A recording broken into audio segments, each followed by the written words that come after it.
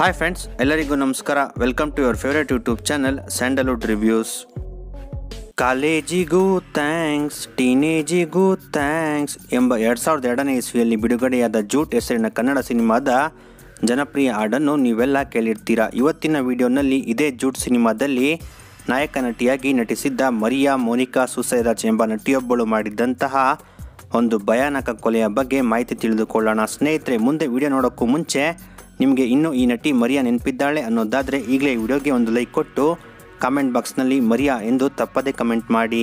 ನಟಿ ಮರಿಯಾ ಸುಸೈರಾಜ್ಲ ದೊಡ್ಡ ಕನಸು ಏನು ಅಂದರೆ ಅದು ಬಾಲಿವುಡ್ ಸಿನಿಮಾ ಇಂಡಸ್ಟ್ರಿಯಲ್ಲಿ ಫೇಮಸ್ ನಟಿಯಾಗಿ ಮಿಂಚಬೇಕು ಎಂಬುದಾಗಿತ್ತು. ಈ ಕನಸು ಮರಿಯಾಳ ಕೈಯಲ್ಲಿ ಎಂಥ ಕೆಲಸ ಮಾಡಿಸಿತ್ತು ಅಂದರೆ ಎಷ್ಟು ದೊಡ್ಡ ಕ್ರೈಮ್ ಮರಿಯಾ ಮಾಡಿದ್ದಳು ಅಂದರೆ ಒಬ್ಬ ಇನ್ನೋಸೆಂಟ್ ವ್ಯಕ್ತಿನ ತುಂಡು ತುಂಡಾಗಿ ಕತ್ತರಿಸಿ ಕಾಡಿನೊಳಗೆ ಆ ಮನುಷ್ಯನ ದೇಹದ ಮಾಂಸದ ತುಂಡುಗಳನ್ನು ಮರಿಯಾ ಪೆಟ್ರೋಲ್ ಹಾಕಿ ಸುಟ್ಟು ಹಾಕುವ ಲೆವೆಲ್ಗೆ ಆಕೆನ ಕೊಂಡೊಯ್ದಿತ್ತು.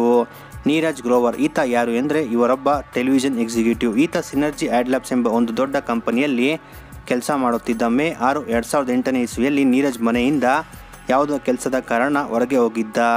ಹೀಗೆ ಹೊರಗೆ ಹೋಗಿದ್ದ ನೀರಜ್ ಮತ್ತೆ ಮನೆಗೆ ಬರಲೇ ಇಲ್ಲ. ಮನೆಯಿಂದ ಹೊರಗೆ ಹೋಗುವಾಗ ಕಡೆಯದಾಗಿ ನಟಿ ಮರಿಯಾಳನ್ನು ನೋಡಲು ಹೋಗುತ್ತಿರೋದಾಗಿ ನೀರಜ್ ಕುಟುಂಬಸ್ಥರ ಬಳಿ ಹೇಳಿ ಹೋಗಿದ್ದ. ನೀರಜ್ನ ಸ್ನೇಹಿತರು ಮತ್ತು ಸಂಬಂಧಿಕರು ಇಡೀ ಏರಿಯಾ ಪೂರ್ತಿ ನೀರಜ್ಗಾಗಿ ಹುಡುಕಾಡಿದರು. ಆದರೆ ಇವರಿಗೆ ಎಲ್ಲಿಯೂ ನೀರಜ್ ಕಾಣಿಸಲಿಲ್ಲ. ಕೊನೆಯದಾಗಿ ಮರಿಯಾಳ ಮನೆಗೆ ಹೋಗ್ತೀನಿ ಎಂದು ಹೇಳಿ ಹೋಗಿದ್ದರಿಂದ ಮರಿಯಾ ಬಳಿ ಕೂಡ ನೀರಜ್ ಬಗ್ಗೆ ವಿಚಾರಿಸಿದರು. ಆಗ ಮರಿಯಾ ನೀರಜ್ ನಮ್ಮ ಮನೆಗೆ ಬಂದು ಅಂದಿನ ರಾತ್ರಿನೇ ಹನ್ನೆರಡು ಗಂಟೆಗೆ ನಮ್ಮ ಮನೆಯಿಂದ ಹೊರಗೆ ಹೋದ. ಏನೋ ಮುಂಬೈನಲ್ಲಿರುವ ಅಂಧೇರಿ ಏರಿಯಾದಲ್ಲಿ ಫ್ರೆಂಡ್ಸ್ಗಳು ಪಾರ್ಟಿ ಮಾಡ್ತಿದ್ದಾರೆ, ಅಲ್ಲಿಗೆ ಹೋಗ್ತಿದ್ದೀನಿ ಎಂದು ಹೇಳಿದ ಎಂದು ಮರಿಯಾ ಹೇಳಿದಳು. ಆ್ಯಕ್ಚುಲ್ ಆಗಿ ನೀರಜ್ ಕುಟುಂಬಸ್ಥರಿಗೆ ಈ ನಟಿ ಮರಿಯಾಳ ಮೇಲೆ ಸಂದೇಹವಿತ್ತು. ಈ ಮರಿಯಾ ನಮ್ಮ ಹತ್ತಿರ ಏನೋ ಮುಚ್ಚಿಡುತ್ತಿದ್ದಾಳೆ ಎಂದು ನೀರಜ್ ಕುಟುಂಬಸ್ಥರಿಗೆ ಡೌಟ್ ಶುರುವಾಯಿತು. ಇದಕ್ಕೆ ಕಾರಣ ಏನೆಂದರೆ ನೀರಜ್ ಕಣ್ಮರೆಯಾಗಿದ್ದು, ಮೇ ಆರನೇ ತಾರೀಕು, ಅದರ ಮಾರನೇ ದಿನ ಏಳನೇ ತಾರೀಕಿನಂದು ನೀರಜ್ನ ಫ್ರೆಂಡ್ ಒಬ್ಬ ನೀರಜ್ ಮೊಬೈಲ್ ನಂಬರ್ಗೆ ಫೋನ್ ಮಾಡಿದ್ದಾಗ, ಆ ಫೋನ್ನ ಮರಿಯಾ ಸುಸೈರಾಜ್ ರಿಸೀವ್ ಮಾಡಿದ್ದಳು. ನೀರಜ್ ತನ್ನ ಫೋನ್ನ ಮರೆತು ನಮ್ಮ ಮನೆಯಲ್ಲಿ ಬಿಟ್ಟು ಹೋಗಿದ್ದಾನೆ ಎಂದು ಮರಿಯಾ ಹೇಳಿದ್ದಳು. ಇದೇ ಕಾರಣದಿಂದ ನೀರಜ್ನ ಫ್ರೆಂಡ್ಸ್ ಮತ್ತು ಫ್ಯಾಮಿಲಿಯವರಿಗೆ ಮರಿಯಾಳ ಮೇಲೆ ಗಾಢವಾದ ಅನುಮಾನ ಬಂದಿತ್ತು. ಇದಕ್ಕೂ ಮೇಲೂ ನಾವುಗಳೇ ನೀರಜ್ಗಾಗಿ ಹುಡುಕಾಡೋದು ಸರಿಯೋಗಲ್ಲ ಎಂದು ತೀರ್ಮಾನಿಸಿ ನೀರಜ್ ಕುಟುಂಬಸ್ಥರು ಪೊಲೀಸ್ ಠಾಣೆಗೆ ಬಂದು ನೀರಜ್ ಕಣ್ಮರೆಯಾಗಿರುವುದರ ಬಗ್ಗೆ ಕಂಪ್ಲೇಂಟ್ ಕೊಟ್ಟರು. ಪೊಲೀಸರು ಈ ಕೇಸ್ನ ವಿಚಾರಣೆ ಶುರು ಮಾಡಿದ್ದರು. ಮರಿಯಾ ಸುಸೈರಾಜ್ ನಿನ್ನ ಹತ್ತಿರ ತಾನೇ? ನೀರಜ್ನ ಫೋನ್ ಇತ್ತು. ನೀರಜ್ ಸ್ನೇಹಿತ ಕೂಡ ಈ ವಿಷಯದ ಬಗ್ಗೆ ಮಾಹಿತಿ ನೀಡಿದ್ದಾನೆ. ಮೇ ಏಳನೇ ತಾರೀಕು ಸ್ನೇಹಿತ ನೀರಜ್ಗಾಗಿ ಫೋನ್ ಮಾಡಿದ್ದಾಗ ಆ ಫೋನ್ ಇನ್ನ ಬಳಿಯ ತಾನೇ ಇತ್ತು. ನೀನೇ ಆ ಕಾಲ್ ಅಟೆಂಡ್ ಮಾಡಿದ್ದು, ಆ ಕಾಲ್ ರಿಸೀವ್ ಮಾಡಿದಾಗ ನೀನು ಎಲ್ಲಿದ್ದೆ ಎಂದು ಪೊಲೀಸರು ಮರಿಯಾಳಿಗೆ ಪ್ರಶ್ನೆ ಮಾಡಿದ್ದರು. ಆಗ ಮರಿಯಾ ಆ ಸಮಯದಲ್ಲಿ ನಾನು ನನ್ನ ಅಪಾರ್ಟ್ಮೆಂಟ್ನಲ್ಲೇ ಇದ್ದೆ ಎಂದು ಹೇಳಿದ್ದಳು. ಪೊಲೀಸರು ಎರಡನೇ ಪ್ರಶ್ನೆ ಕೇಳಿದ್ದರು. ಮೇ ಏಳನೇ ತಾರೀಕು ನೀವು ಎಲ್ಲೆಲ್ಲಿ ಹೋಗಿದ್ರಿ ಎಂದು ಕೇಳಿದರು ನಾನು ಶಾಪಿಂಗ್ ಹೋಗಿದ್ದೆ. ಇನ್ನು ಎರಡು ತಿಂಗಳಲ್ಲಿ ನನ್ನ ಎಂಗೇಜ್ಮೆಂಟ್ ಇದೆ. ನಾನು ಜೆರೋಮ್ ಮಾಥ್ಯೂ ಎಂಬ ಹುಡುಗನನ್ನು ಮದುವೆ ಆಗ್ತಿದ್ದೀನಿ. ಜೆರೋಮ್ ಮ್ಯಾಥ್ಯೂಗೆ ಜಿತೇಶ್ ಎಂಬ ಸ್ನೇಹಿತನೊಬ್ಬ ಇದ್ದಾನೆ. ಅವನ ಕಾರ್ನ ತೆಗೆದುಕೊಂಡು ನಾನು ಶಾಪಿಂಗ್ ಹೋಗಿದ್ದೆ ಎಂದು ಮರಿಯಾ ಹೇಳಿದಳು ಪೊಲೀಸರು ತಾವು ಕೇಳಿದ ಎರಡು ಪ್ರಶ್ನೆಗಳಿಗೆ ಮರಿಯಾ ಕೊಟ್ಟ ಉತ್ತರದಿಂದಲೇ ಪೊಲೀಸರು ಈ ಕೇಸ್ನ ಸಾಲ್ವ್ ಮಾಡಿದ್ದರು. ಮೊದಲು ಪೊಲೀಸರು ಮರಿಯಾಳ ಸೆಲ್ಫೋನ್ನ ಟ್ರ್ಯಾಕ್ ಮಾಡುತ್ತಾರೆ. ಮರಿಯಾಗೆ ನೀರಜಿ ಫ್ರೆಂಡಿಂದ ಒಂದು ಕರೆ ಬಂದಿತ್ತಲ್ವಾ? ಆ ಕಾಲ್ ಮರಿಯಾಗೆ ಕನೆಕ್ಟ್ ಆಗುವಾಗ ಯಾವ ಏರಿಯಾದ ಟವರ್ನಿಂದ ಕಾಲ್ ಕನೆಕ್ಟ್ ಆಗಿದೆ ಎಂದು ಚೆಕ್ ಮಾಡಿದ್ದರು. ಆ ಕಾಲ್ ಮನ್ನೂರು ಎಂಬ ಕಾಡು ಪ್ರದೇಶದಲ್ಲಿದ್ದ ಟವರ್ನಿಂದ ಕನೆಕ್ಟ್ ಆಗಿತ್ತು. ಮುಂಬೈನಿಂದ ಅಹಮದಾಬಾದ್ಗೆ ಹೋಗುವ ಹೈವೇ ರೋಡ್ನಲ್ಲಿ ಮಧ್ಯಭಾಗದಲ್ಲಿ ಆ ಕಾಡು ಇತ್ತು. ಆದರೆ ಮರಿಯಾ ತಾನು ನೀರಜ್ ಫ್ರೆಂಡ್ನ ಕಾಲ್ ತನ್ನ ಅಪಾರ್ಟ್ಮೆಂಟ್ನಿಂದಲೇ ರಿಸೀವ್ ಮಾಡಿದ್ದೆ ಎಂದು ಹೇಳಿದ್ದಳು. ಕೂಡಲೇ ಪೊಲೀಸರು ಮರಿಯಾಳನ್ನು ಪ್ರೇಮ್ ಸಸ್ಪೆಕ್ಟ್ ಎಂದು ತೀರ್ಮಾನ ಮಾಡಿ ಮರಿಯಾ ಜೊತೆ ಕ್ಲೋಸ್ ಆಗಿದ್ದ ಎಲ್ಲರನ್ನೂ ಆರೋಪಿಗಳ ಲಿಸ್ಟ್ಗೆ ಸೇರಿಸಿದರು. ಮರಿಯಾಳನ್ನು ಮದುವೆಯಾಗಬೇಕಿದ್ದ ಜೆರೋಮ್ ಮ್ಯಾಥ್ಯೂನ ಕೂಡ ಪೊಲೀಸರು ಸಸ್ಪೆಕ್ಟ್ ಲಿಸ್ಟ್ಗೆ ಸೇರಿಸಿದ್ದರು. ಮರಿಯಾಳ ಫಿಯಾನ್ಸಿ ಮ್ಯಾಥ್ಯೂ ಒಬ್ಬ ನೇವಿ ಆಫೀಸರ್ ಆಗಿದ್ದ. ಮ್ಯಾಥ್ಯೂ ಕೊಚ್ಚಿಯಲ್ಲಿ ಕೆಲಸ ಮಾಡುತ್ತಿದ್ದ. ನೀರಜ್ ಕಾಣೆಯಾಗಿದ್ದು ಮೇ ಆರನೇ ತಾರೀಕು ನೈಟು. ಮೇ ಏಳನೇ ತಾರೀಕು ಬೆಳಗ್ಗೆನೇ ಕೊಚ್ಚಿಯಿಂದ ಮ್ಯಾಥ್ಯೂ ಫ್ಲೈಟ್ನಲ್ಲಿ ಮುಂಬೈಗೆ ಬಂದಿದ್ದ ಇದಿಷ್ಟೇ ಅಲ್ಲದೆ ಕಳೆದ ಹದಿನೈದು ದಿನಗಳಲ್ಲಿ ಮರಿಯಾಗೆ ಸಾವಿರಾರು ಬಾರಿ ಮ್ಯಾಥ್ಯೂ ಫೋನ್ ಮಾಡಿದ್ದ. ಪಕ್ಕಾ ಸಾವಿರಾರು ಸರಿ ಕಾಲ್ ಮಾಡಿದ್ದ. ಇವೆಲ್ಲ ಸಾಕ್ಷಿಗಳನ್ನು ಒಂದು ಕಡೆಯಿಂದ ಪೊಲೀಸರು ಅಬ್ಸರ್ವ್ ಮಾಡಿದ್ದರು. ಮ್ಯಾಥ್ಯೂನ ಫ್ರೆಂಡ್ ಜಿತೇಶ್ ಅಂತ ಹೇಳಿದ್ವಲ್ಲ, ಆತ ಕೂಡ ಒಬ್ಬ ನೇವಿ ಆಫೀಸರ್. ಜಿತೇಶ್ಗೆ ನೀನು ನಿನ್ನ ಕಾರ್ನ ಮರಿಯಾಗೆ ಕೊಟ್ಟಿದ್ದ ಎಂದು ಪೊಲೀಸರು ಕೇಳಿದ್ದರು. ಆಗ ಜಿತೇಶ್, ಇಲ್ಲ, ನಾನು ಕಾರ್ ಕೊಟ್ಟಿಲ್ಲ ಎಂದು ಹೇಳಿದ. ಈ ರೀತಿಯಾಗಿ ಪೊಲೀಸರು ಕೇಳಿದ ಪ್ರಶ್ನೆಗಳಿಗೆ ಕರೆಕ್ಟಾದ ಉತ್ತರ ನೀಡದೆ ನಟಿ ಮರಿಯಾ ಸಿಕ್ಕಾಕಿಕೊಂಡಳು ಈ ಎಲ್ಲ ಸಾಕ್ಷಿಗಳನ್ನು ಮರಿಯಾ ಮುಂದೆ ಇಟ್ಟು ಪೊಲೀಸರು ತಮ್ಮ ಸ್ಟೈಲ್ನಲ್ಲಿ ವಿಚಾರಣೆ ಶುರು ಮಾಡಿದ್ದರು. ಆಗಲೇ ಮರಿಯಾ ಅಸಲಿ ಕಥೆನ ಪೊಲೀಸರ ಮುಂದೆ ಬಿಚ್ಚಿಟ್ಟಳು. ನೀರಜ್ ಹಲವು ದಿನಗಳಿಂದ ಮರಿಯಾಗೆ ಬಾಲಿವುಡ್ ಇಂಡಸ್ಟ್ರಿಗೆ ಸೇರಲು ಸಹಾಯ ಮಾಡುತ್ತಿದ್ದ ಮುಂಬೈಗೆ ಬಂದ ಹೊಸದರಲ್ಲಿ ಇರಲು ಮನೆ ಸಿಗದೆ ಮರಿಯಾ ನೀರಜ್ ಮನೆಯಲ್ಲೇ ಕೆಲ ತಿಂಗಳು ವಾಸ ಮಾಡಿದ್ದಳು. ಮರಿಯಾ ನೀರಜ್ ಮನೆಯಲ್ಲಿ ಇದ್ದ ವಿಷಯವೆಲ್ಲ ಮ್ಯಾಥ್ಯೂಗೆ ಗೊತ್ತಿತ್ತು. ನೀರಜ್ ತನ್ನ ಜೊತೆ ಹಲವು ಬಾರಿ ಫ್ಲರ್ಟ್ ಮಾಡಿದ್ದಾಗಿ ಕೂಡ ಮರಿಯಾ ಫಿಯಾನ್ಸಿ ಮ್ಯಾಥ್ಯೂ ಬಳಿ ಹೇಳಿದ್ದಳು. ನೀರಜ್ಗೆ ನನ್ನ ಕಂಡರೆ ತುಂಬ ಇಷ್ಟ ಎಂದು ಮ್ಯಾಥ್ಯೂ ನರೇಗಿಸಲು ಮರಿಯಾ ಮ್ಯಾಥ್ಯೂ ಬಳಿ ಹೇಳಿದ್ದಳು. ಇದೇ ಕಾರಣಕ್ಕಾಗಿ ಮ್ಯಾಥ್ಯೂಗೆ ನೀರಜ್ನ ಕಂಡರೆ ಒಂಚೂರು ಇಷ್ಟ ಇರಲಿಲ್ಲ. ನೀರಜ್ ವಿಷಯಕ್ಕಾಗಿ ಹಲವು ಬಾರಿ ಮ್ಯಾಥ್ಯೂ ಮತ್ತು ಮೀರಾ ಜಗಳ ಆಡುತ್ತಿದ್ದರು. ಮರಿಯಾಗೆ ಸ್ವಲ್ಪ ದಿನಗಳ ನಂತರ ಒಂದು ಫ್ಲ್ಯಾಟ್ ಬಾಡಿಗೆಗೆ ಸಿಕ್ಕಿತ್ತು. ಆಗ ಮರಿಯಾ ತನ್ನ ಲಗೇಜನ್ನೆಲ್ಲ ಎತ್ತುಕೊಂಡು ನೀರಜ್ ಮನೆಯಿಂದ ಹೊಸ ಮನೆಗೆ ಶಿಫ್ಟ್ ಆಗಿದ್ದಳು. ಈ ಶಿಫ್ಟಿಂಗಾಗಿ ಸಹಾಯ ಮಾಡಲೆಂದೇ ಅಂದಿನ ದಿನ ಮೇ ಆರನೇ ತಾರೀಕು ನೀರಜ್ ಮರಿಯಾಳ ಹೊಸ ಫ್ಲ್ಯಾಟ್ಗೆ ಹೋಗಿದ್ದ.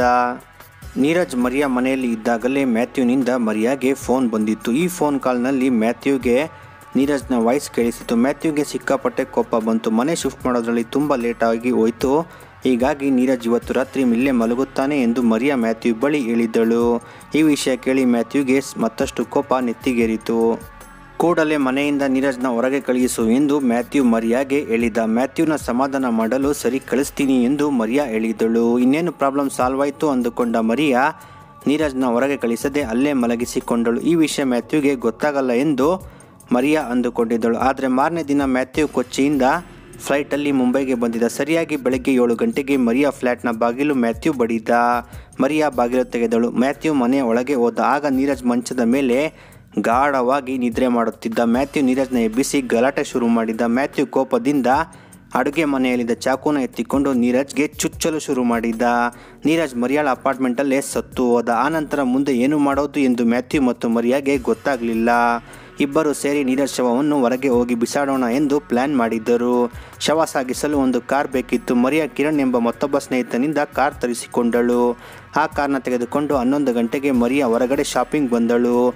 Plastic bags, bedsheet, curtain, air freshener ಮತ್ತು ಕತ್ತಿ ಇವೆಲ್ಲವನ್ನು ತೆಗೆದುಕೊಂಡು ವಾಪಸ್ ತನ್ನ ಮನೆಗೆ ಮರಿಯಾ ಬಂದಳು. ರಕ್ತವಾಗಿದ್ದ ಬೆಡ್ಶೀಟ್ ಕಟ್ಟೆನ್ ಎಲ್ಲವನ್ನು ತೆಗೆದು ಬೇರೆ ಹೊಸ ಬೆಡ್ಶೀಟ್ ಕಟ್ಟೆನ್ಸ್ ಹಾಕಿದಳು.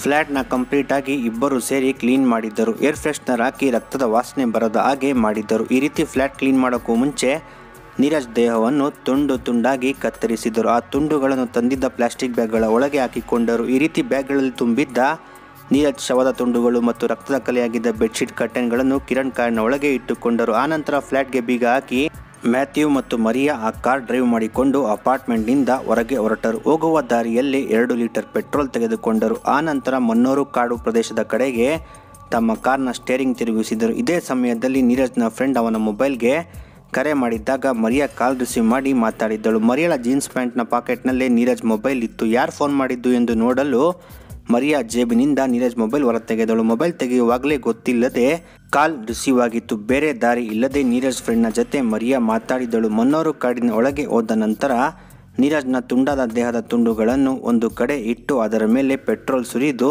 ಬೆಂಕಿ ಹಚ್ಚಿದವು ಎಂದು ನೀರಜ್ ಕೊಲೆಯ ಭಯಾನಕ ರಹಸ್ಯವನ್ನು ಮರಿಯಾ ಪೊಲೀಸರ ಬಳಿ ಹೇಳಿದಳು.